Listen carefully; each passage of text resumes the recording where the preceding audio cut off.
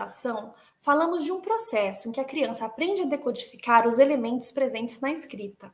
Mas quando falamos de alfabetização científica, nos apropriamos desse conceito associado à capacidade de compreensão da ciência e da tecnologia. Está com a gente hoje a professora Marta Marandino. A Marta estuda alfabetização científica em ações de educação não formal e comunicação pública da ciência. Ela é docente do programa de pós-graduação da Faculdade de Educação da USP, no programa Interunidades de Ensino de Ciências da USP, colabora no curso de especialização em divulgação da ciência, da tecnologia e da saúde da Fiocruz.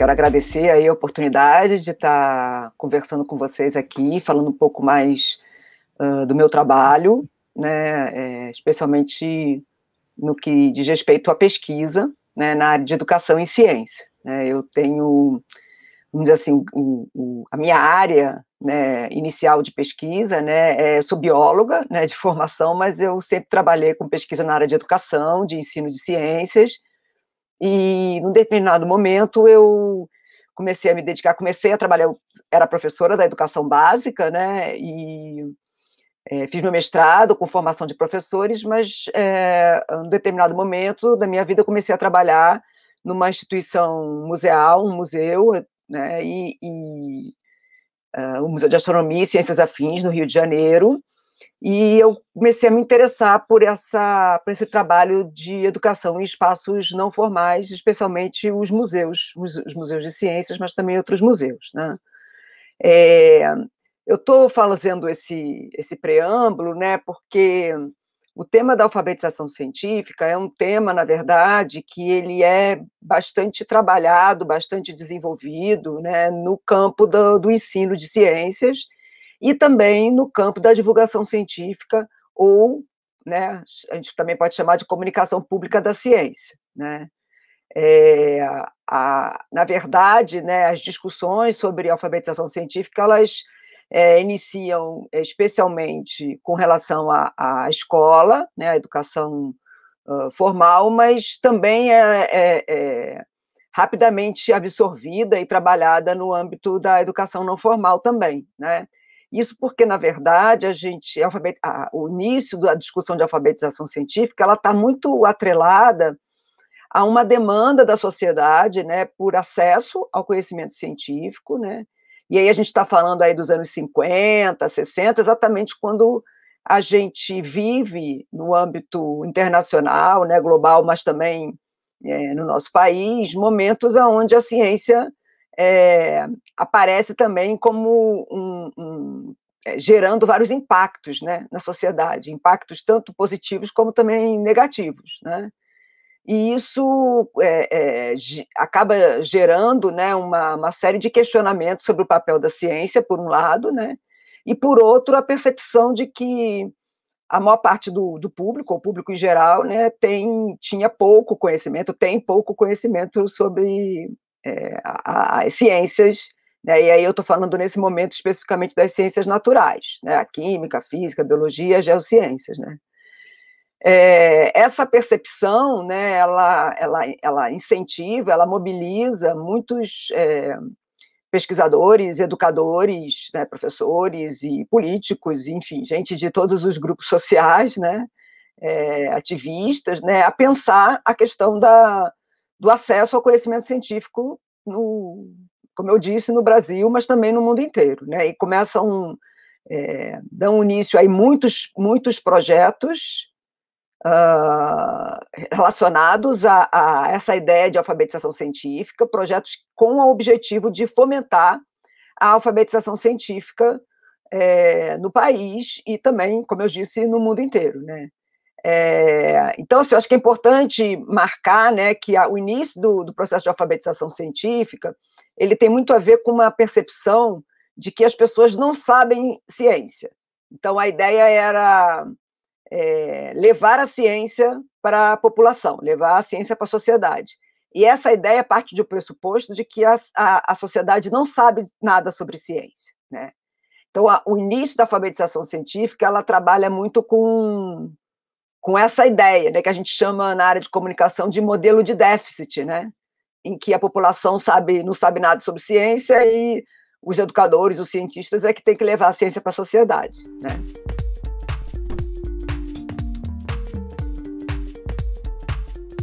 É, então, é exatamente isso, né? Quer dizer, como os autores é, mapeiam mais ou menos no, na década de 50, quando é, a expressão surge no inglês, né? Scientific literacy, é, mas nesse contexto que eu estou falando, né, para você, né, que é um contexto é, aonde a gente tem um, um, um, momento muito importante em termos de, de situação mundial, né, onde você tem, é, fruto da Guerra Fria, né, uma situação em que a Rússia lança o, o, o satélite, o, Sputnik, né, e os Estados Unidos é, percebe né, que ele que a sua, a, a, o desenvolvimento científico e tecnológico dele estava atrás né, de, de, é, dessa, dessa potência, né, que é a da Rússia na época, né, e, e uma das, das dos desdobramentos disso né, foi exatamente a preocupação com a ciência nos currículos, foi o impacto da formação naquele tempo, né, pensando-se que seria possível se formar cientistas se fosse investido na escola desde o início. Né?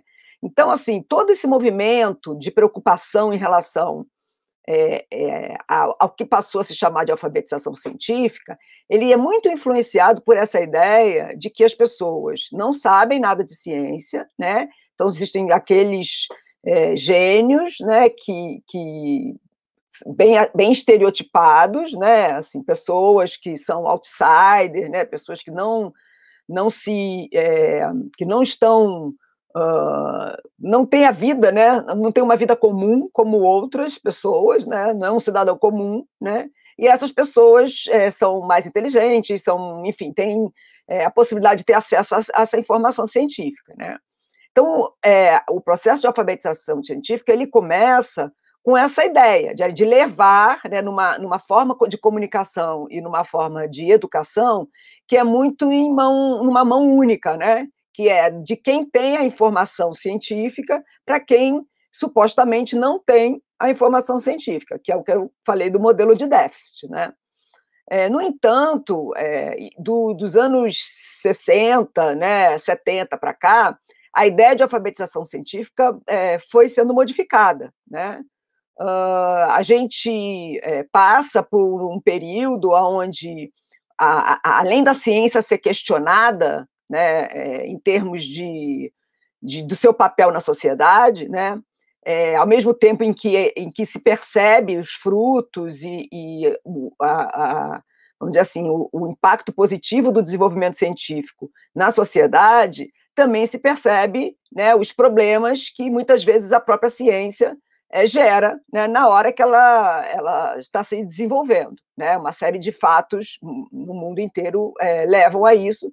E nos anos 70, as questões ambientais, principalmente, são muito fortes e revelam muito esse, esse lado do impacto, é, é, é muitas vezes uh, uh, ruim né, ou negativo, que a ciência tem.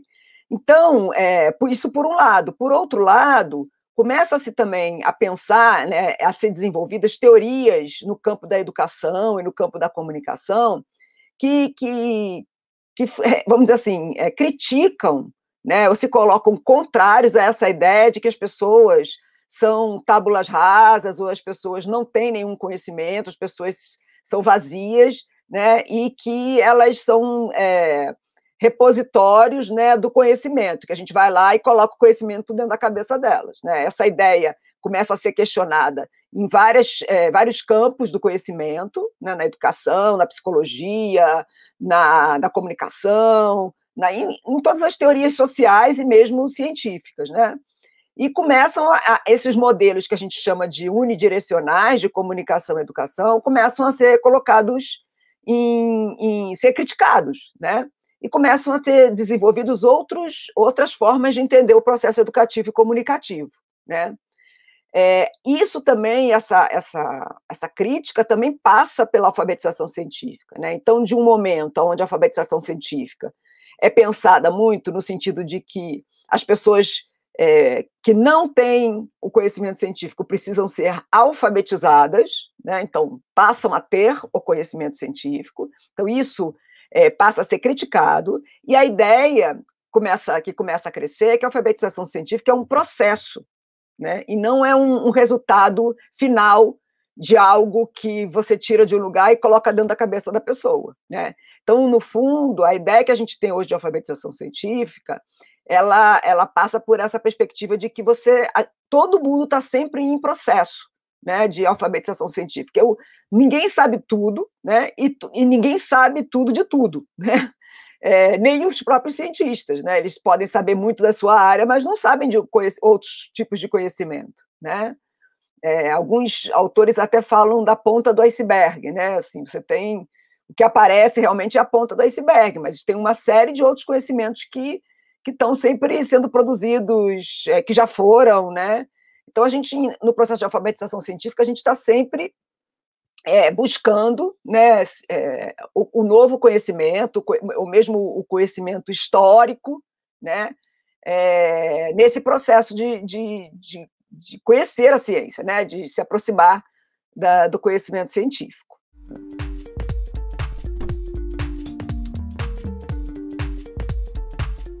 Uma coisa que é importante também ser dita é que a ideia de alfabetização científica ela não é unânime, né? E ela é também, existem uma série de, de questionamentos e, e de críticas à própria expressão alfabetização científica, né?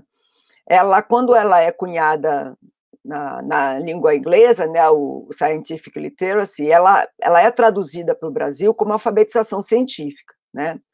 É, e, e, aqui no Brasil ela vai enfrentar o mesmo problema do próprio conceito de alfabetização, né?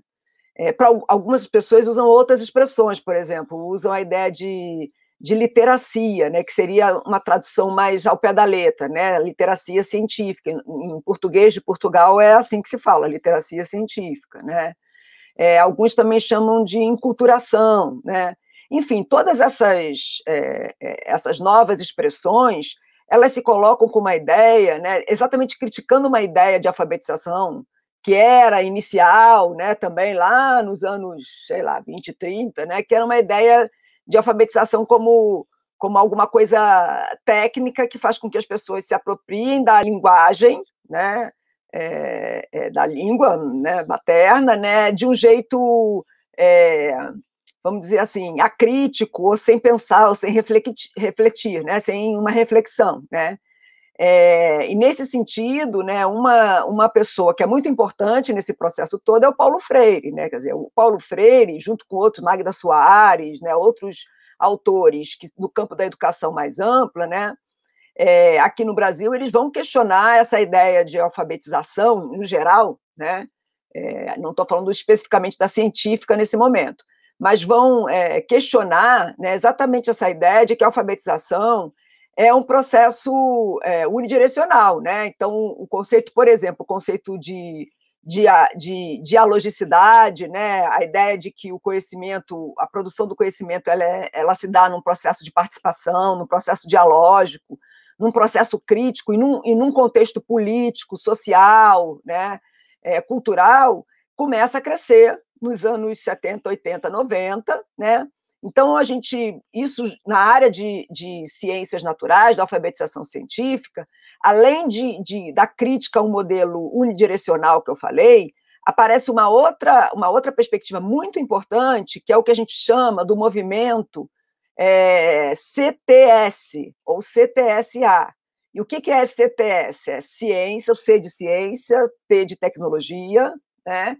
É, S de sociedade e o A de ambiente. Então, são as relações CTSA, ou relações CTS. Esse movimento das relações CTS, ele aparece também no mundo e no Brasil nos anos 70, né? E exatamente ele, ele inspirado em aspectos relacionados à história da ciência, à epistemologia da ciência, à filosofia da ciência, né? a própria sociologia da ciência, eles vão exatamente, exatamente é, apontar essa ideia de que a ciência não é neutra, né, que a ciência não é, ela não é feita fora de um contexto político, social, que há interesses, né, que há disputas, né, que a história da ciência mostra os embates, a falta de consenso, as controvérsias, né, seja interna, seja entre a ciência e a sociedade, enfim. Então, tudo, toda essa discussão que eu estou trazendo para você agora, ela resvala na ideia de alfabetização científica. Hoje, quando a gente, no meio acadêmico, quando a gente fala de alfabetização científica, a gente não está falando de aprendizado de conceito. A gente só, né? Também precisa aprender conceitos. Mas a gente está falando também de outros tipos de aprendizagem, de aprender como é que a ciência é feita, de aprender quem é que está envolvido no processo de produção de conhecimento científico, quem financia, por que, que financia, por que, que, que interesses tem por trás. Então, é só basta a gente pegar o exemplo que a gente tem hoje aí na nossa cara, batendo na nossa cara, que foi toda, todas as questões que a gente está vivendo com a pandemia e com o Covid. Né?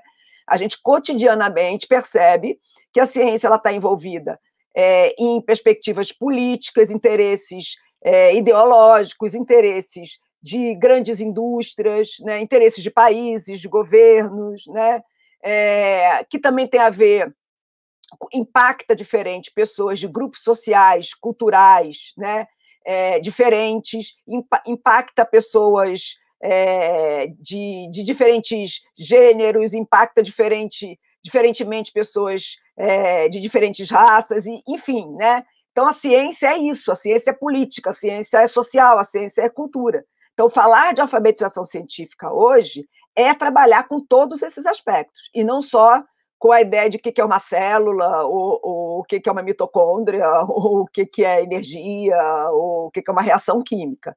É claro que essas, esses elementos são importantes, né?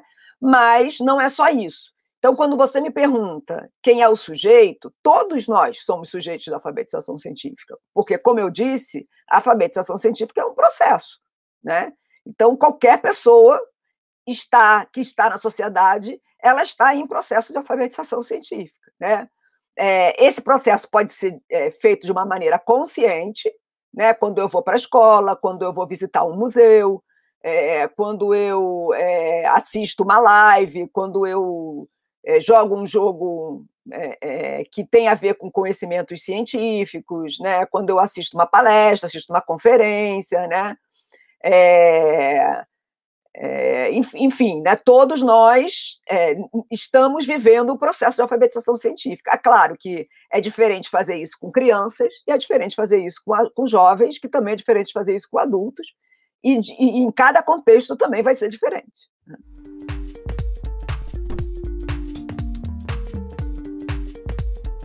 A gente, hoje, né, na literatura, definir claramente o que, que é educação formal, não formal, informal, não é uma tarefa muito simples, né? É, alguns autores até vão, vão questionar se a gente precisa realmente é, desses termos, né? Se a gente se é tão simples assim a gente dizer o que, é formal, o que, que é não formal, informal, e também tem uma questão, mais uma vez, de tradução, né? No, no inglês, em geral, não se usa o não formal, né?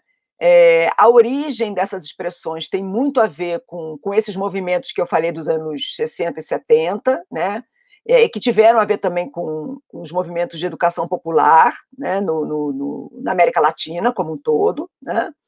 Então, assim, a ideia da, da educação não formal ela está muito atrelada a uma educação política, né? inicialmente, em alguns espaços. Né?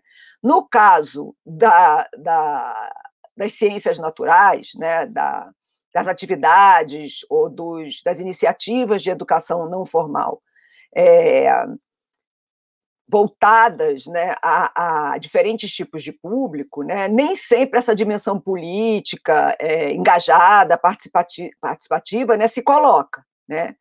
Então, o que a gente tem, na verdade, são é, espaços e esses, quando eu digo espaços, não só são espaços fisicamente delimitados, né? mas muitas vezes são iniciativas de grupos, de associação de moradores, de é, grupos de colegas de uma universidade que formam o que a gente chama hoje de coletivos, né? Ou antigamente são, eram as organizações, também hoje existem as organizações não governamentais, né? Enfim, é, pessoas que têm interesses comuns e se organizam para trabalhar, né? Seja por meio de, de atividades é, lúdicas ou hoje a, a, a, o uso das mídias, das redes sociais é, vem sendo feito de uma maneira muito muito intensa, né? É, mas também os espaços físicos, como os museus, como as, os centros de cultura científica, né, os espaços, é, os sítios arqueológicos, por exemplo, né, os hortos botânicos, jardins botânicos, zoológicos, tudo isso, né, a gente é museu também, né, e é também são espaços de educação não formal na área de ciências naturais, né. Então, assim, é, encontrar uma definição que junte tudo isso não é muito simples. Cada, cada, cada lugar desse, cada experiência dessa, cada espaço desse, ele tem suas particularidades, né? tem suas especificidades. Mas o que que, que que une isso né? e faz a gente colocar dentro da caixinha, mais ou menos, ali da educação não formal ou informal, né? e não formal? Né? Em geral, quando é formal, ele está voltado para a escola. Né? Então, tem as características e está submetido às, ao funcionamento das, da escola. Então, ele tem um tempo, né? por exemplo, o tempo de aula, né? ele tem um tempo do ano letivo, né? ele tem um espaço físico escolar que se organiza de um jeito particular, né? então você tem a divisão de, de disciplinas ao longo de um período, né? ao longo do dia, professores responsáveis por cada disciplina, né? mesmo que haja interdisciplinaridade, a maneira com que a escola está organizada é muito, é muito particular da escola. Né? Existe o currículo, né? Existem é, políticas, existe o Ministério de Ciência, desculpa, Ministério de Educação, que vai é, dar as orientações para aquilo que vai aparecer nos currículos das escolas, nos livros didáticos. Isso tudo envolve o que a gente chama de educação formal da escola. Né? Então, quando está fora desse, desse, dessas características, né, quando a gente não tem um, um currículo que, é, é, que organiza aquilo que vai ser trabalhado, quando a gente é, as atividades não são feitas num formato é, que é igual da escola no tempo e no espaço da escola, né? Mas pode até ser feito em parceria, mas não é, não tem as demandas, né, que a escola tem em termos, por exemplo, de avaliação, né? é, não tem um impacto da, na vida da, do, do, do, do, indivíduo, né, como é a escola. Né? Então, quando as, acontecem ações, atividades, experiências, né, que não são, não, não são é, organizadas da maneira na escola, a gente começa a colocar dentro dessa, dessa grande caixa aí que a gente chama de, de educação não formal. Né? Mas, como eu disse, em cada, cada experiência acaba sendo bem quase única, né? Claro que assim, é, os zoológicos têm uma maneira de, de fazer educação é, não formal muito semelhante, os jardins botânicos também, e os jardins botânicos são semelhantes aos zoológicos, né? É, e por aí vai, os museus de história natural, os centros de, de, ciência cultural. Agora, já um projeto como o WASH, por exemplo, né, eu imagino que também tenha formas especiais, específicas, particulares de escolher que conteúdos que vocês vão trabalhar, para quem, né? Quem são, é, é, quem é o público-alvo de vocês, né? Como é que são organizadas essas atividades? Quem pensa essas atividades? Né? Essas atividades são construídas com o público ou elas são transmitidas de quem pensa para o público? Quer dizer, é tudo isso quem decide são vocês, né? Não, e isso não está determinado por nenhum currículo, não está determinado por nenhuma legislação, né? Então, por isso que a gente chama de educação não formal ou educação informal. Né? Tem alguns, como eu disse, tem alguns, é, alguns autores que separam o informal do não formal e tem outros que não. Né?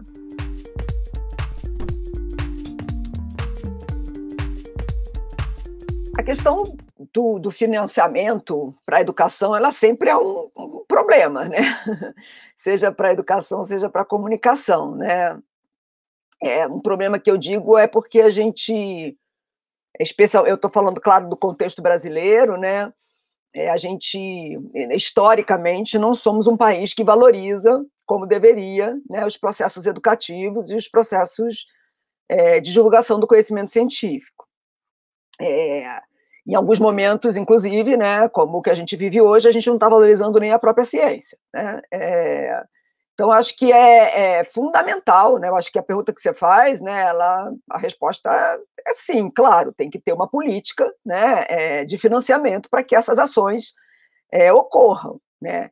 E a gente pode dizer que, que essa, essa política né, ela, ela deve é, ocorrer em muitos níveis diferentes. Né? Uh, o que, que eu quero dizer com isso? Né? Por exemplo, a gente dentro da universidade, a universidade brasileira, ela tem, a universidade pública brasileira, né, ela é muito importante por muitas razões, mas uma grande importância da universidade pública é que ela tem como uma das suas principais funções a produção do conhecimento, né, a, o ensino de, do conhecimento é, científico de todas as ciências, mas o que eu acho que é mais relevante é o que a gente chama de extensão na universidade. Né? Então, os, a, a, extensão é exatamente né, as ações que a universidade pública no Brasil faz né, para é, estabelecer a relação com a sociedade. Ou seja, né, é claro que a pesquisa também ela impacta a sociedade, é claro que o ensino impacta a sociedade, mas na, é na extensão né, que a universidade realiza a sua função de uma maneira que a, a sociedade pode perceber né, que ela está é, devolvendo aquilo que a, a sociedade investe né, é, em termos de produção de conhecimento é, e também em termos de, de educação. Né? Então, a, a, uma, um aspecto, né, um, uma dimensão ou uma perspectiva importante de financiamento para essas iniciativas de comunicação e educação não formal é via extensão na universidade. É, a gente é, então, assim, é muito importante que existam programas, projetos né, de financiamento dentro das universidades, né, voltados para a extensão, né? E aí, dentro da extensão, a divulgação científica, a, a educação não formal possam é, ser é, é, estratégias, são estratégias importantes para isso. É, isso também deve acontecer é, do ponto de vista aí maior, né, do, do, dos, das instâncias governamentais, né? Então, os governos municipais, os governos estaduais, o governo federal também devem é, implementar políticas né, de financiamento de iniciativas como essa. E a gente tem isso. Né? É, teve mais em algumas épocas, menos em outras. Né? A gente é, tem muitas vezes por meio né, das agências de financiamento, né? então, né, FAPESP, FAPERJ, é, FAPEMIG, né, enfim, várias das, das fundações de, de, amparo à pesquisa é, no Brasil todo, a nível estadual, é, tem programas voltados para não só para pesquisa, mas também para divulgação, e às vezes até articulando pesquisa e divulgação científica e educação. Né? O CNPq, é, que aí já é, estou falando do nível federal, né, ele é um órgão importantíssimo né, para financiamento da pesquisa, mas não só, né? O CNPq ele, ele é por muitos anos, né, durante os anos é, o início, o final do século, do, desculpa, né, o final do século XX, né, início do século XXI, né, os anos 90 e a, até 2016, né, é, o CNPq financiou muitos editais de popularização da ciência. O CNPq tinha um departamento de popularização da ciência dentro da Secretaria de Inclusão dentro do Ministério de Ciência e Tecnologia. Né? Então, nós tivemos períodos é, no governo federal, por exemplo, onde você tinha é, iniciativas concretas né? e o desenvolvimento de uma política de popularização da ciência no país. Né? É, então, assim, é, existem né, é, é, experiências muito positivas né, nesse sentido, né, muitos projetos do CNPq até hoje né, é, por exemplo, os Institutos Nacionais de Ciência e Tecnologia, né, os INCTs do CNPq, ou mesmo dentro dos, das fundações de amparo à pesquisa, como a FAPESP, que tem os CEPIDs, né, são iniciativas de pesquisa, mas que tão, têm que estar associadas à iniciativa de divulgação científica e de popularização da ciência e de educação, né? Então, assim, existem iniciativas, existem caminhos, né? Mas, mas como tudo na ciência, tem os interesses, né?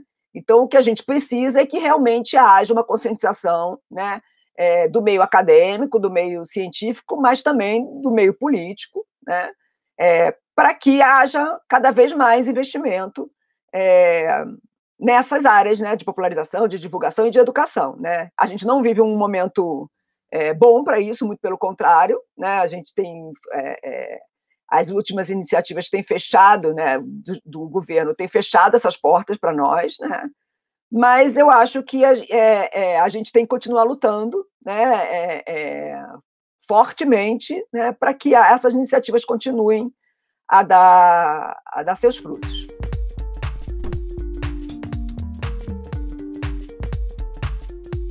Muitos, existem muitos estudos na área de educação, especialmente da educação formal, né, é, que tem como foco o processo de alfabetização científica. Né? É, esses estudos são tanto estudos qualitativos, né, onde, em geral, o, o, universo da pesquisa ele é mais reduzido, né, então a gente tem é, é, resultados que são resultados muito importantes, mas nem sempre eles são possíveis de ser generalizados. Né? E existem é, estudos quantitativos também que vão avaliar esses processos de alfabetização científica. Né? É, a pesquisa na área de educação é uma pesquisa é, talvez um pouco diferente né, do que a gente está acostumando a ver nas áreas mais que a gente chama de pesquisa das ciências hard, né, vamos dizer assim. Né? A, a, a educação é uma área de ciências humanas, né?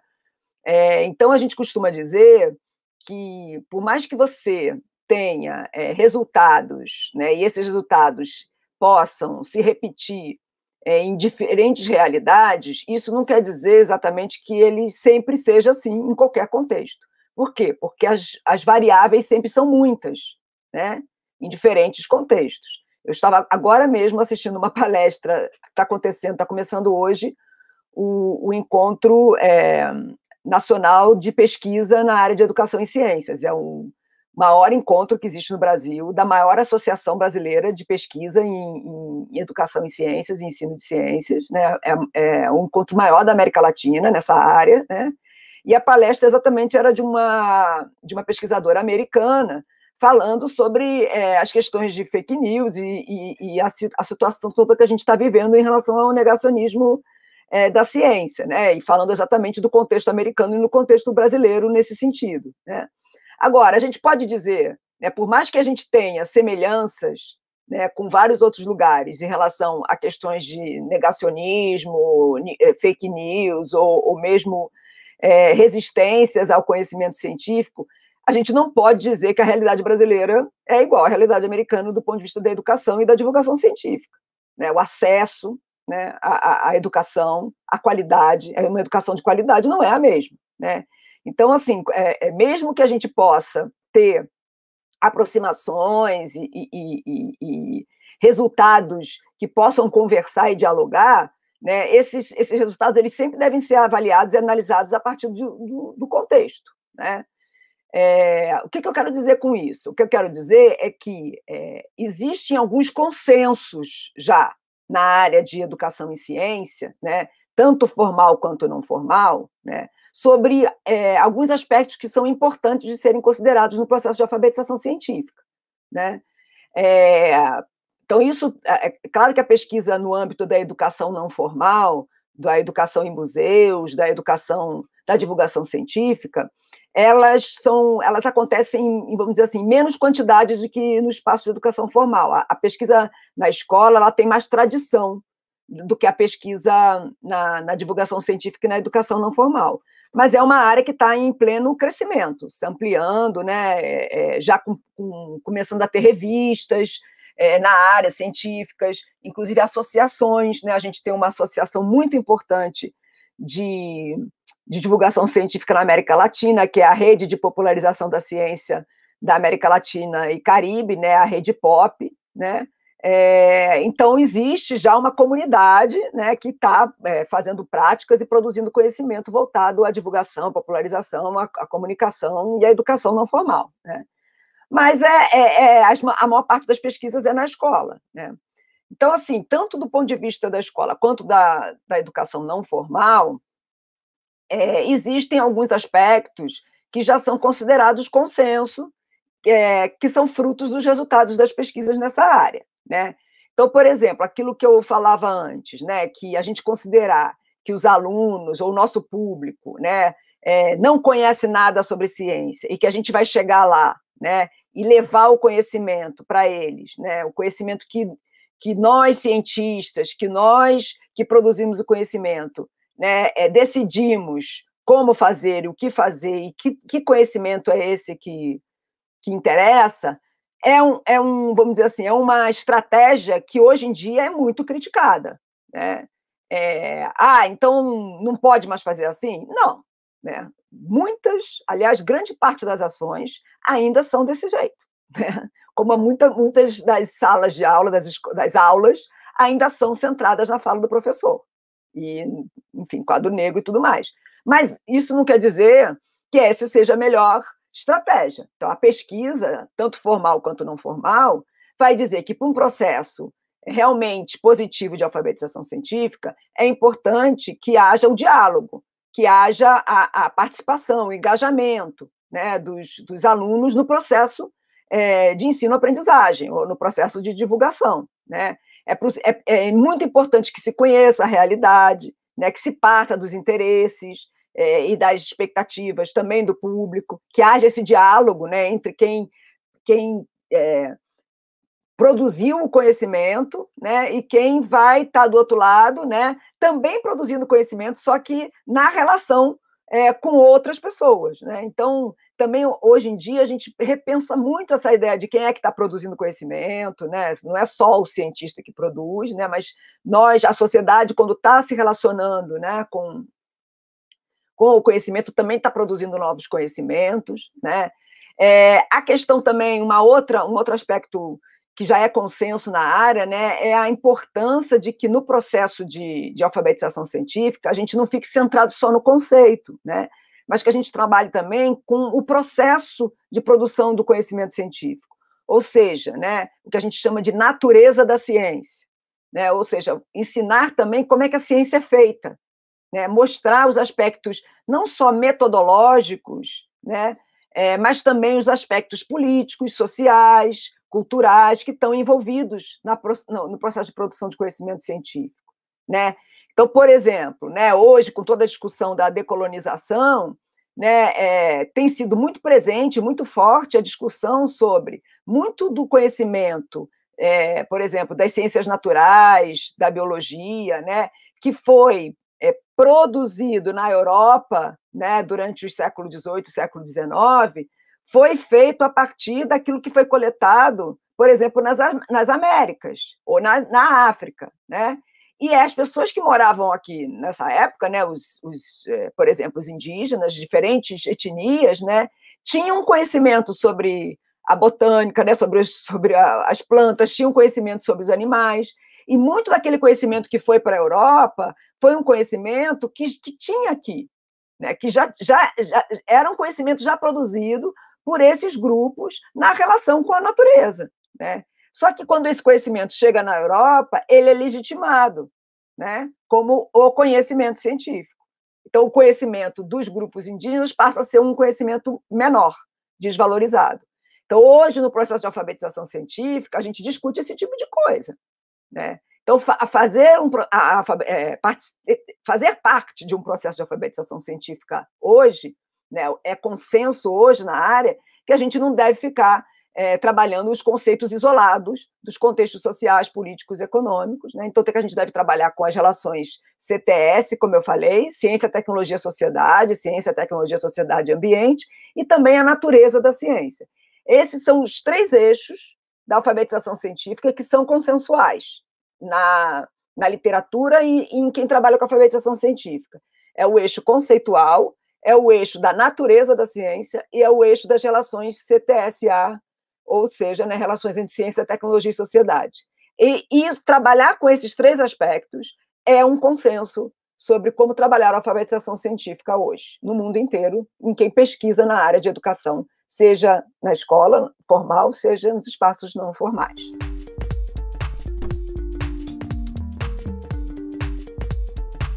Muitas vezes, né, ainda mais num país como o nosso, né, nem todo mundo passa pelo processo de escolarização. Né? É, infelizmente, isso ainda é uma realidade. Né? E mesmo que passe, não significa que é, acabou a escola, nós né, acabou o processo de alfabetização científica, né? Que eu acabei de dizer que é um processo ao longo da vida toda, né? Então é exatamente aí que deve atuar é, os espaços de educação não formal, né? Então pensando sempre numa perspectiva de parceria com a escola, né? Não, não em nenhum momento é, seria é, é, criticar ou abrir mão da importância que a escola tem, mas é a importância de trabalhar na parceria, né? mas também trazendo um outro olhar, porque eu acho que os espaços não formais podem contribuir né, é, com outro olhar sobre o conhecimento, né, e, e por isso mesmo trazer uma, uma, uma perspectiva é, é, diferenciada ou, ou, ou, com as suas especificidades. Estou né? dando o um exemplo aqui, por exemplo, no caso dos museus. Né? Assim, os museus são lugares que têm os objetos, os acervos, né, as memórias, então, é um, um, um, o museu ele pode é, participar do processo de alfabetização científica, trazendo elementos que nem sempre a escola pode oferecer. Né? Por quê? Porque ele tem lá o, o acervo, seus objetos, tem uma série de, de elementos né, que ele estudou, que, ele, que, ele, que houve pesquisa é, sobre esses objetos, né? É, aí eu estou falando desde das plantas dos jardins botânicos, dos herbários, estou falando dos animais dos zoológicos, estou falando dos, dos dioramas da, dos museus de história natural, né? Então, acho que é, é essa ideia de que, que cada um desse, desses espaços, né, eles vão ter a sua contribuição e a sua especificidade. E o ideal é que eles possam trabalhar é, de forma articulada. Nós gostaríamos de agradecer a presença e os conhecimentos da professora Marta Marandino, que falou com a gente hoje sobre alfabetização científica. Se você gostou desse vídeo, gostou dessa conversa, compartilhe com seus amigos, se inscreva no nosso canal e deixe seu like neste vídeo.